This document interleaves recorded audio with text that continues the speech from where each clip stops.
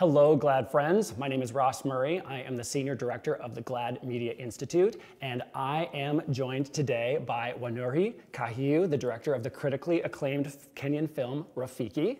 Rafiki is the story of love between two girls wrapped up in the youth culture of Nairobi and the politics of Kenya.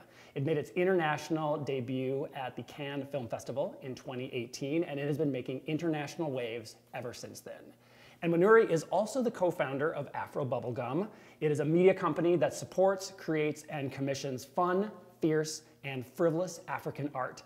And she's got a huge number of projects on her plate going forward. So welcome to GLAAD. Thank, Thank you, you for being here. It's such a pleasure to be here. Absolutely. So maybe just to start, what inspired you to want to tell the story of identity and romance between two young Kenyan girls? I think more than anything, I just wanted to tell a love story. And, and often because we don't get to see ourselves in love as, as, as much as I would like um, in Kenya. And I saw growing up, other people were falling in love. Everybody felt like they were allowed to fall in love. But there weren't that many experiences of Africans falling in love on screen. And I truly, more than anything, wanted to make a love story.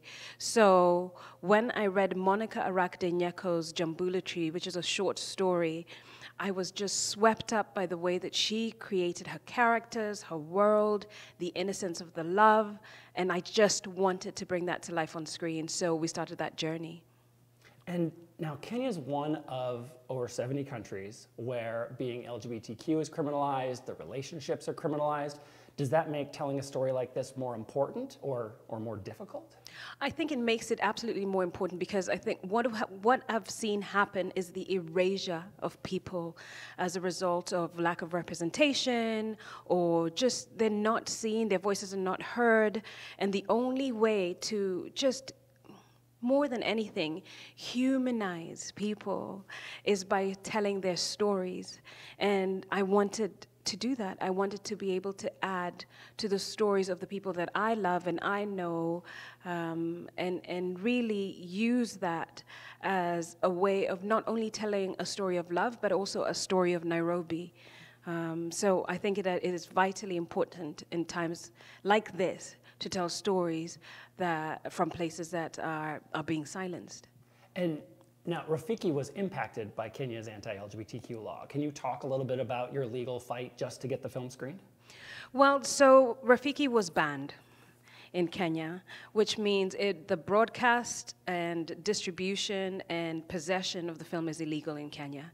And when the film was banned, we decided that we wanted to kind of push back because our constitution allows us freedom of expression and we wanted the film to be able to be seen. So we went to court and we asked for the ban to be lifted for seven days initially so that we can be eligible for the, to play, to be eligible to be considered as an Oscar nominee in the foreign film section from Kenya.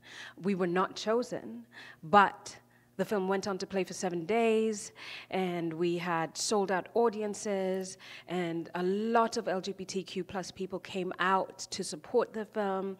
They felt seen, and so many stories came out over that week about people coming out to their parents, going to watch the film, going back to get their parents to come and watch the film with them, and then coming out as a result. So it started much needed conversations within families, and, and then later on continues to start larger conversations within the country.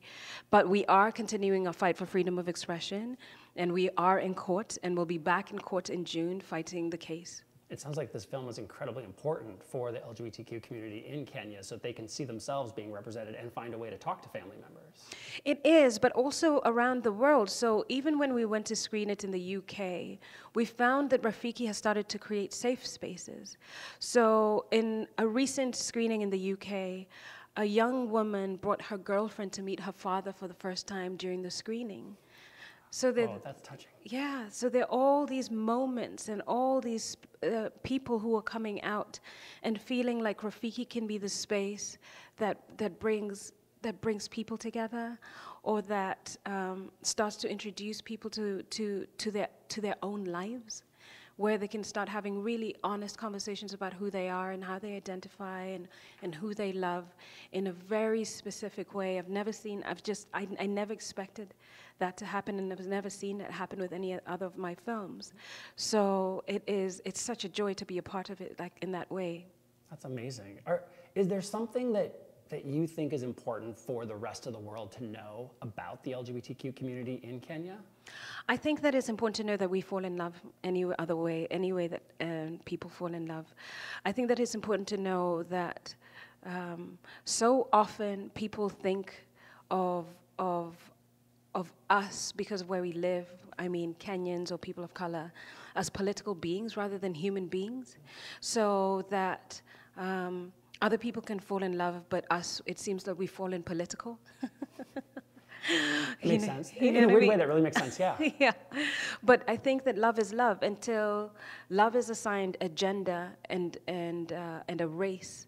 It's, and then people start thinking that it's, it's not so much love, it's more uh, an act of defiance or a political, a political act, when it's just love. Um, so it's important to know that the LGBT community in Kenya is really just trying to love. And that the LGBT community in Kenya is fighting for the decriminalization of homosexuality. And that case will be decided in May. So send love our way just so that we know that we feel supported. And, and so that this case that begins to recognize the LGBT communities in places that have completely overlooked them are given kind of um, just the leverage and uh, given the attention that they need so that we can really start turning things around. Mm-hmm. I, I, I, think it was interesting, and you talked about um, human beings versus political beings. This story is so personal, but it's wrapped up in politics. There's a campaign in the middle of this film, and yeah. it's not just them, they're representing whole families and parties. And yeah. That's huge. Well, one of the things that we were trying to have is a conversation about um, power versus love.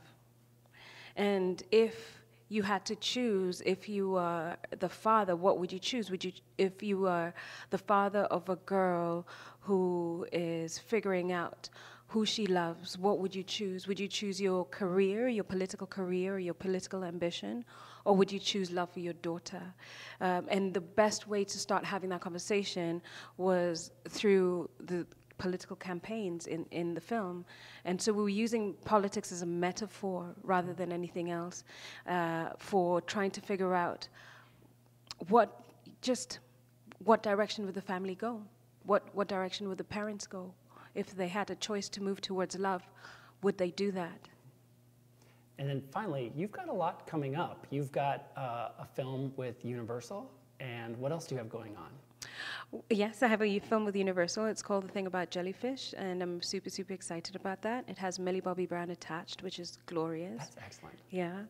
I'm also working on a TV show, and I'm co writing it with Nnedi Okorafor, and it's an adaptation of an Octavia Butler book called Wild Seed um, which is incredible because it's about shapeshifters and um, immortals and love that spans ages and the way love can be transformative, but also about the way these people in, in, in, in the story transform, literally, physically transform themselves to be different people um, and, and the different manifestations of love as a result of that.